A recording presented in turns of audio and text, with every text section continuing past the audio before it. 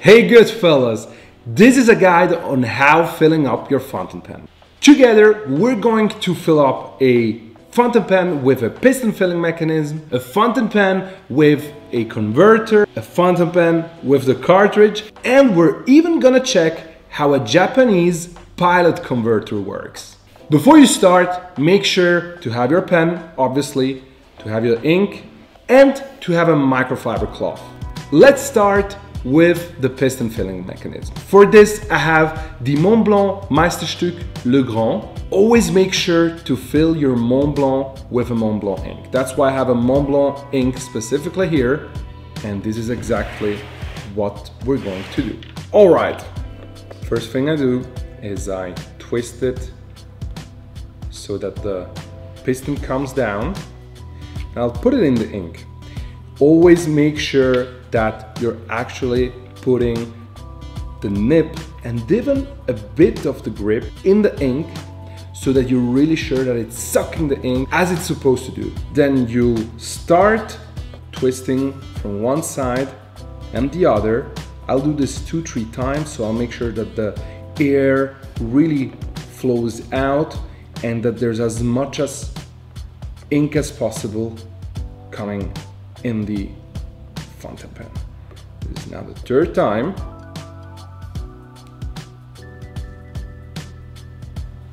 Pull it up so that the ink comes down. Then I go down again and I let two drops go back into the ink bottle.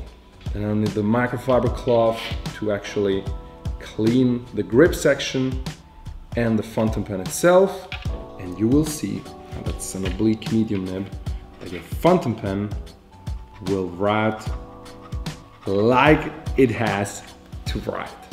Second, how to fill a fountain pen with a converter mechanism. It's not much different than with a piston filling mechanism. You just see a bit more while you're doing it.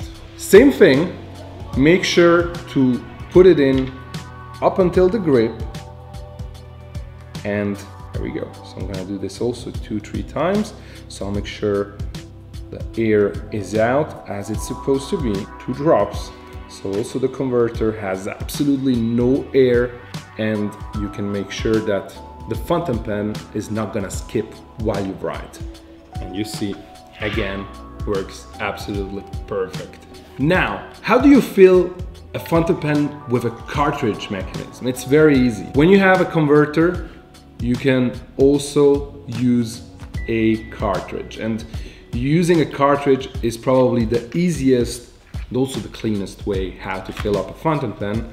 It's also a bit the less romantic, but you know, when you're traveling or when you're out for business, it might help a lot. You simply pull it in and Normally it should write right away. Now obviously there's the ink from the converter in, but if you want to make sure to motivate it a bit, you can just give it a bit of motivation by pressing a bit the cartridge, not too much or it's gonna break, and you can just start writing with it. Last but not least, the Pilot Custom. This one has a special converter mechanism that I personally really, really like, and it's more of a pushing mechanism. So I'm filling this one up with the Montblanc ink. Watch this out. This one you're really gonna need to push it out until the air comes, goes out.